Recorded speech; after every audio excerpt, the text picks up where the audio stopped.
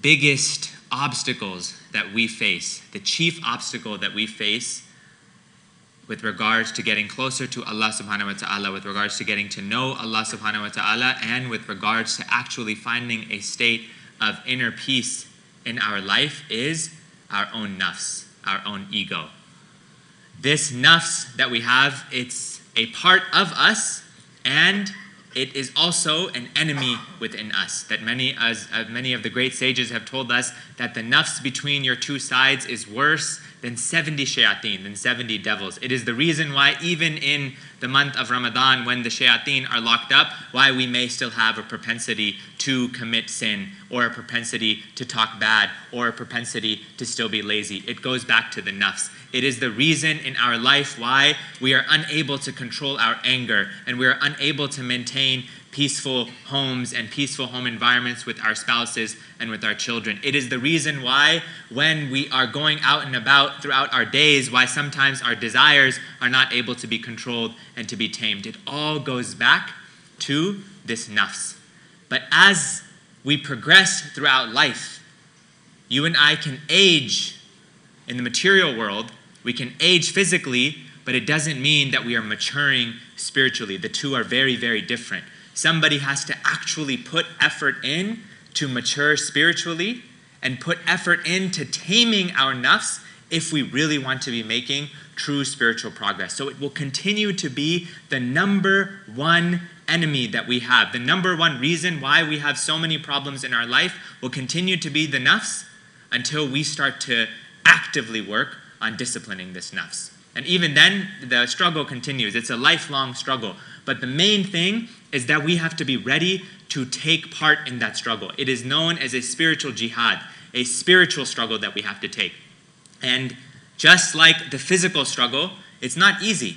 There's days where we might win, and then there's days where our nafs might win. There's days where it will have an advantage over us, and there's days where we will have an advantage over it. But the first thing, in order to really begin this process of disciplining the ego, of disciplining the nafs, is to even understand what are we taught, what is the nafs?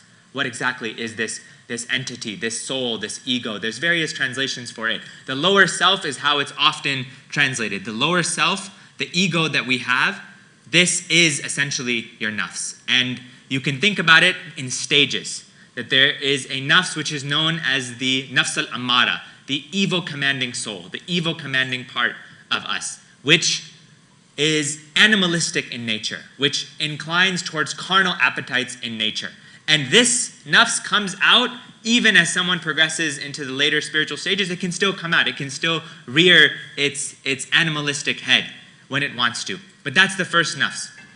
And then it, you continue to put discipline in, to continue to work on worshiping Allah, to continue to work on teaching the nafs that it does not submit to its own desire, but it submits to what Allah wants. And the more you and I get are in accordance with what Allah and His Messenger sallallahu have sent down, the more at peace we will be. As the Prophet wasallam says, that none of you truly believes until his or her desires are in accordance with what I've brought. Not only the actions, but literally what you and I intend to do, what we want to do inwardly, outwardly, at the level of desire has to be in accordance with the sunnah of the Prophet ﷺ to attain this state of truly perfecting our iman and truly perfecting our belief. And so it, the nafs will try to hold us back from all of these different forms of, of spiritual progress. So you and I are, are in a situation where we're talking to someone and then they say something we don't like. And then we just want to lash out at them, start yelling, start arguing. That anger, where's that anger coming from? It's coming from an undisciplined soul. Because the most disciplined of disciplined souls, the Sayyid of all of creation, sallallahu alayhi wasallam, he was able to control his anger entirely. He only got angry for the sake of Allah, not for the sake of his own, for the sake of his own nafs. And his he was teaching the Sahaba in this mission to perfect their character how to control their anger. What is the majority of the reason why we have issues in our homes, issues with our spouses, issues with our children? Largely is because of anger, because we're unable to control ourselves. When that argument begins, we can't, we don't know what to say. We don't know what, rather, what not to say. We just want to say everything that comes to the tip of our tongue. That's an uncontrolled nafs. That's, that's an example. That when we are on our phones, when we're on social media, we see an image that comes up that we sh- really shouldn't be looking at. But we let our gaze lap, we, we let our gaze look, and now it impacts us. That a black spot is created on the heart. What is that? That's the nafs when it's not controlled. We know we should be waking up in the morning, in the early morning, these days, very early for Salat al Fajr, and we just let ourselves constantly sleep through it. Or we have a desire to wake up even earlier to pray that the tahajjud prayer, but we don't prioritize it. Why? Because we just want to sleep and sleep. That's the nafs. It doesn't like doesn't like early mornings. It doesn't like waking up. It doesn't like any real restraint. It doesn't like it. We, we know we should only be eating a certain amount of food per day, but we continue to overeat three meals plus two snacks plus this plus that plus this and until we've had seven different meals in one day. What is that? That's the nafs because the nafs doesn't like to be restrained. It doesn't like to be held back. And we live in a society which teaches you the opposite of restraint. This is not a restraint society. This is a society which tells you obey your desires, obey your thirst, go ahead and follow whatever desire you and I have. But Allah says in the Quran, have you seen the one who takes his desire as his Lord or their or her desire as their Lord? That that's not we cannot take our desire. Either you and I are worshiping Allah or we're worshiping something else. Everybody is worshiping. Everybody is in a state of servitude or servitude or slavery to someone. We want to be Abdullah. We don't want to be that slaves to our own nufus or slaves to our own desires. But many times that happens. Anytime we prioritize something other over what Allah wants, especially if it comes from our hawa or from our nafs, in that moment we are just saying that you know Allah is less important versus what I want is more important and a society which teaches me, me, me, me, nafsi, selfie, all this entire movement, even this, this idea of being obsessed with taking pictures of our own selves.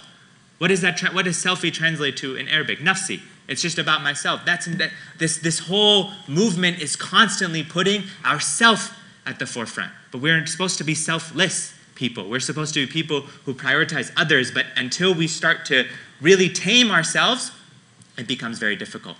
So let's understand the nafs in a little bit more detail. There are a few different components of the nafs that are articulated by scholars like the likes of Imam Ghazali in the Ihya Ulumuddin, where he mentions what are the main faculties within the nafs that will really start to cause trouble for us. The first is your appetite, the appetite. The appetite can break down into the appetite, the, the, the appetite for food, and which then eventually links into your carnal appetites and your sexual appetites. And this is really the main area where we're supposed to be investing and controlling. That any time, the faculty of discipline, all discipline, is rooted in our ability to control our food intake. And the Sahaba, may Allah be pleased with them, were more concerned about what they ate and how much they ate than in doing significant, abundant acts of external worship. And they were also very concerned about doing significant acts of external worship. But food intake, where the food comes from, it being pure, and then making sure to eat in, in respectable, limited quantities, this is a core part of our spiritual discipline, which we've forgotten. Even in the month of Ramadan, which is a whole month that Allah is trying to teach us to restrain ourselves, we skip one meal throughout the day and we replace it with four meals at night. Iftar and then and then dinner and then we go to tarawih then we have another huge meal after tarawih then we go to sleep then we eat wake all what? We're just feeding the nafs. We just delayed it's just delayed gratification. What we're supposed to be teaching ourselves is actual discipline. So discipline starts at the level of food intake. That's the first thing. And the appetite will be restrained, will be completely unrestrained, rather, when food intake is not established. You very rarely see people who are in a state of, of extreme hunger or in a state of poverty who act with a lot of arrogance or who just follow every single desire that they have. No, they're, they have, they're very much focused and concerned on that there, there is a state of humility that has been attained when that desire is contained. So this is one thing that we've very, very, very, very much lost. And so as the scholars, they mentioned that the full stomach now the, is, is one of the main roots of evil and one of the main roots of things uh, and problems that start to start to occur. So that's where the appetite happens. This is directly then linked to carnal desires and to uh, one's sexual appetite. That once someone stops controlling their food intake, now it becomes very difficult to control their impermissible sexual desires. And especially in the time we live in, where you don't even need to be that physically present with anybody. You can literally just be on a device and be scrolling on a device or watching a show or have access to the internet, and all sorts of filth exist out there which can completely pollute you to a point where you can actually ruin what is meant to be a, a faculty that's channeled in a permissible way, you can actually ruin that through excessive following of one's sexual appetite and viewing things such as pornography and others when, when, when, when that will completely, completely, completely damage one's heart. These are diseases. If somebody was diagnosed with diabetes, someone is diagnosed with cancer, someone is diagnosed with any other type of disease, most certainly we would start to seek the cure. We would go to a doctor, we'd try to understand what are we supposed to, how can we improve? But these spiritual illnesses are far worse than physical illnesses. Why? Because the physical illness, once we leave this world, it leaves with us. But the spiritual disease, it carries on. The punishment continues, or the effects of that continue into the grave and they continue into the akhirah. And we ask Allah for forgiveness and that He pardon our sins because it can continue perpetually into the next life if it's not tamed. So it all goes back to taming these things in this life. It's a little bit of work right now for an immense, immense, immense amount of reward, an immense amount of blessings. And it is not haram to have a desire, it's haram to act on the desire. That's a very, very important distinction to make. That just because someone has desires doesn't make them a bad person any type of desire. It's when we say, okay, you know what, I'm just going to ignore it, Allah says and I'm going to give in and act on that desire. So the appetite, this is the first piece. These are the two components of the appetite. The physical appetite that starts with food and then it continues into these other carnal appetites.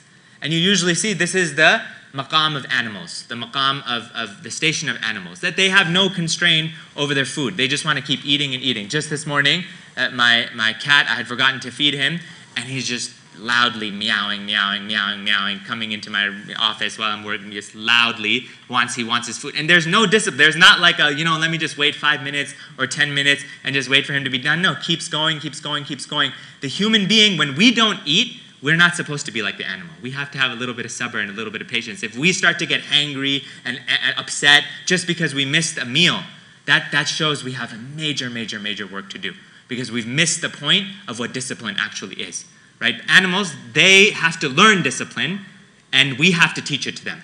But Allah has taught us how to be disciplined through the, the, His majestic book and through the Messenger sallallahu alaihi wasallam. And so we have to read it and apply because the default setting of the human being that you and I are just operating under, with especially having grown up in, in the world that we've grown up in, is to just give in to our appetites. It's to give in to our desires. The second big area relates to anger and relates to just an inability to control our personality. And anger is the root of arrogance, anger is the root of argumentation. Many of these diseases, these big, big, big diseases, which are considered major sins of the heart, many of these diseases stem from an inability to control our anger. The one who can discipline their nafs they do it by disciplining the appetite and by discipline, disciplining their anger. Now, real discipline starts to take place. Real discipline starts to take place. But when anger is out of control, this results in a whole other set of problems. Usually, problems between us and other individuals, usually, problems between us and our families. And so, you evaluate where you and I are at with anger with how quickly we want to lash out at people, and then with how much we actually do so. There's one thing to want to do it and to restrain ourselves. Alhamdulillah, that's a very good thing if we can restrain ourselves. There's a whole another thing if something happens to us and we just completely unleash on somebody and we have no ability to control our anger. And this is especially the case in our home environments. This is especially the case, as the Prophet ﷺ said, the best of you uh, is, uh, are those who are best to their families or the best to their wives. And I am the best to my family, sallallahu alayhi wasallam. He that was extremely accommodating at home, extremely accommodating at home. It, it, was not this type of environment where a little slip happens and just lash out, lash out, lash out. Where are we at with our anger? There is no spiritual progress if we cannot channel our anger in the appropriate direction, which only means that we get angry for the sake of Allah to the right amount at the right time, applied with wisdom in the right way, which, which is very, very, very difficult to do. And so, the vast majority of us, the main goal should just be to control our anger, to control our anger. And this stems very much from what? From the ego that sometimes you get offended. Don't you know who I am? Don't you know this? What are you saying to me? This is all the nafs. This is all the nafs. One of the that it's it's mentioned in the uh, mentioned in the books that a man was walking around with, with, with a whole entourage, you know, and someone got in his way. Don't you know who I am? Don't you know? Just this this ego coming out, right? Getting upset that how dare you get in my way? And and and one of the people of wisdom reprimanded him. Say, yeah, we know who you are. You were created from a drop of fluid from a, from a drop of, of dirty fluid. That's what you were created from. While you live this life, you carry in between you, in between your true sides, excrement. And you will go into the ground and you will rot as a corpse. So that's who you are as a human being. So if you if the ego comes out, and this you, many times tends to be a trait in us men, I would say more so, um, uh, but but not always. But the, the desire to just want to show the ego, the desire that has to be constrained this arrogant kind of pompness that, that exists that has to be contain, uh, that, that contained because we are we are who are we we are abdullah we are uh, that we created the human being weak allah says da'ifa weak very very weak if allah wanted to in any any one of our organs or something just stopped working we would be done for. We couldn't do anything. We would be completely crippled. So why do we let the nafs? Because the nafs is all smoke and mirrors. That's what it is at the end of the day. It's all fake stuff. It's all fake reality. It's not real. It's wahm. It's just empty thoughts. We think something. It's not the case.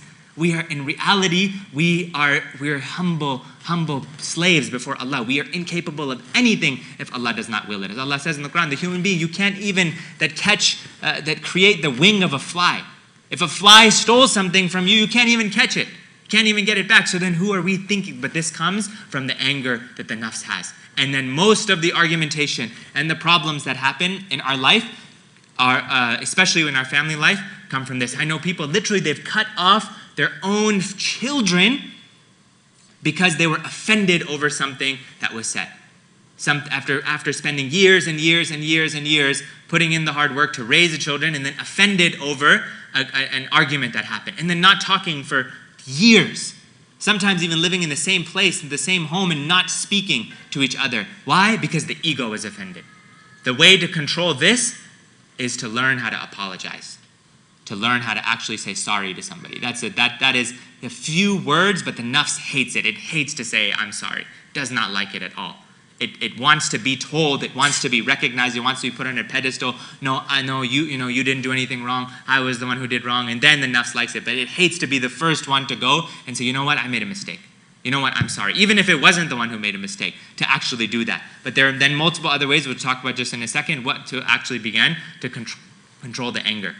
And then the third main area is sloth and laziness and just distracted, just general distractibility. And this is the time that we are living in. That the nafs inclines towards not wanting to do anything at all. Procrastination and just having everything done for it. So it doesn't want to wake up in the morning, it doesn't want to pray Fajr, it doesn't want to recite Quran, it doesn't want to pray any of the other prayers really. All it wants to do is what? Keep pressing a button and clicking next show, okay, and then without you even saying the next show, now it, the next show just starts and you just keep doing it. just wants to let it sit in a world of entertainment. Keep give them circus and give them food and let them just let their lives pass away. This is the way that that the, that the Romans they, they used to control the masses. They just let this is how to control them. You give them entertainment. And so it just wants to keep scrolling. The next video, the next video, the, the continuous, continuous scroll, the endless scroll. Next thing you know, two hours have gone by. And we miss the prayer, we miss this. That's what the nafs wants to do. Distractibility. This is a, the amount of distractions that exist in the time that we live in, it's unparalleled compared to what used to exist in, in, in the past. you'd need a person there or something there to distract you. Again, we can just be completely by ourselves and still not be able to find ways to use our time wisely. And so these are the chief ways. Some, there's just three of the different ways the appetites, the anger that then results in argumentation and arrogance, and an immense amount of distractibility, which results in just overall spiritual sloth and procrastination. And now these, these traits, they, when they are all existent inside of us, we really struggle with spiritual development. And when you struggle with spiritual development, all sorts of other issues start to emerge anxiety, stress, depression, worry, a lack of purpose, not knowing what we're supposed to be doing. All of these things begin to happen, and, but the route is very clearly there. Allah and His Messenger وسلم, have told us exactly what we need to do in order to discipline the nafs. أقول قولي هذا وأستغفر الله.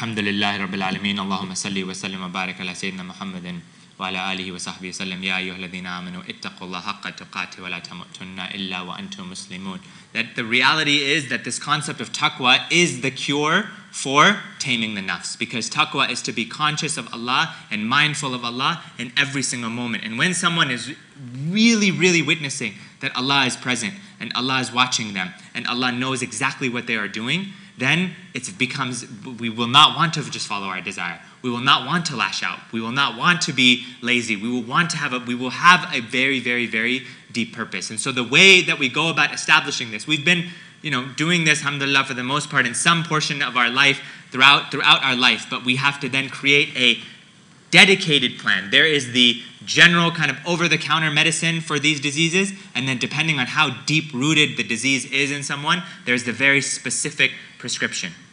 The general medicine that to tame the nafs begins, as we mentioned, with disciplining the food intake. This is mentioned by Imam Ghazali in the Ihya, that on his book on controlling the appetite. So disciplining the food. It sounds um, uh, that, especially in our time, it doesn't always make sense. But that's why we have a whole month of this of literally not eating for um, uh, that, that from early morning until the evening, from literally not doing that because it teach supposed to teach discipline. So we start with that, and all we need to do is cut back a little bit, especially on days when the desire beat us. Don't, and this is what the scholars say. They say literally, don't give your nafs dessert on a day when it didn't obey you. So if you always eat ice cream every night or cake or whatever else it is, there has to be certain days you say, nope, not having it. Just like an animal when you discipline, you can't just give them treats all of the time. Because if you do that, then they're never going to actually listen to you when you need to use the treat for some type of incentive. You have to treat the nafs and exchange, exchange with it in that way. It is this constant exchange going back and forth with the nafs. And so, limiting the food intake in some way, shape, or form, missing a snack that we usually eat, whatever else it is, keeping the stomach light to a degree. But for those, the, the, the, for the children in the room, this is not an excuse for when your parents say to eat lunch to say, no, no, no, I'm going to skip lunch or skip a meal. That's not what we're talking about. This is when you're actually trying to just control our intake, right? Listening to, the, listening to our parents and our elders that takes, takes precedence over, over all these things. And it's a major sin to disobey our parents. So I just wanted to make sure that's very clear. The second thing then, uh, that with regards to disciplining the nafs, is to sometimes just give it a lot of worship to do.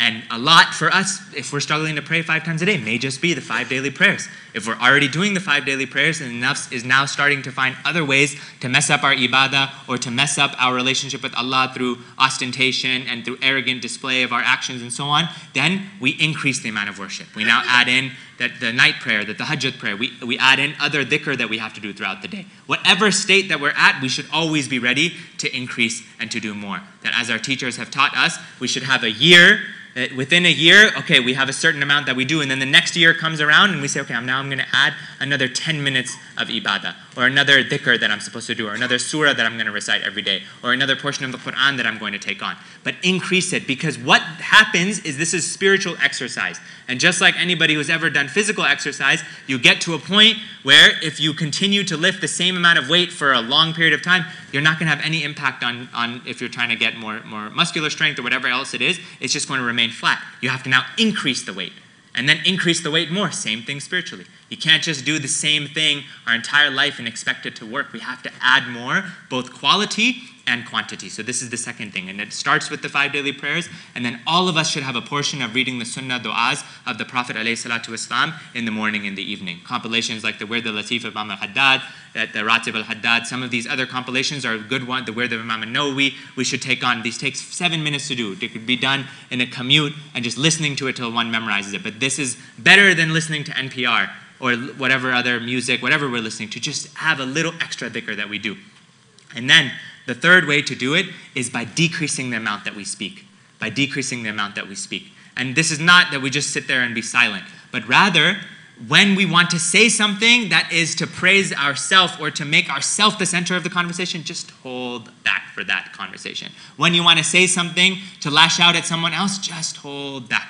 Restrain, the restrain, control the tongue control the tongue because the nafs what it likes to do is you're in a conversation you're hanging out with people and now it likes to be no i want to be the center of a conversation. I, oh well you know what i accomplished you know i did this at work i did this it's all about me me me. No no let it be about other people every now and then. Just give it and now the nafs will actually start to be disciplined and it won't want to be the center of conversation. The prophet ﷺ spoke seldomly. He did not speak that frequently he said whoever that believes in allah in the last day let, let them speak good or remain silent or let them mind their own business. So when we want to get into a conversation about other, other people or topics that have no relevance to us, just to control the tongue. These might seem like small things, but the food intake being controlled, increasing our ibadah, and then controlling our tongue, you will start to see literally a spiritual alchemy begin to happen. A spiritual purification starts to happen internally. And that is the point of our religion that the worship we do is not just for physical movements or ritualistic outward practices. There is meaning to it. And these are the meanings can be unlocked when we apply these things in the right way. Just like when medicine is applied in the right way, healing actually happens. That the Prophet ﷺ is the best spiritual healer. And he gave us all of these different things to do. And when we follow what he wants us to do, sallallahu wasallam, we will now start to have this internal healing. And you will now go from a state where it seems like a drag to worship. It seems boring. We don't want to do it. It's just I got to do it because I told I was told to. To now someone actually wants to. They starts to taste the halawa, the sweetness of faith, and that is the direction that we want to trend towards. And then what the best thing that happens, and we'll end with this, is that the problems that happen in our life either that are just between ourselves and our own issues, or between ourselves and other people, ourselves and our family, they start to be mitigated. They start to go away. Actual harmony starts to enter into our life because the nafs starts to become disciplined and we start to realize the purpose of our life. The purpose of our life is to worship Allah and to attain a state of purity in this life. قَدْ أَفْلَهَ مَنْ زَكَّاهَا Whoever purifies themselves is successful. وَقَدْ خَابَ مَنْ دَسَّاهَا And whoever does not is destroyed. We want to be among the people who are successful in this life and the next, and we want to be with Allah and His Messenger وسلم,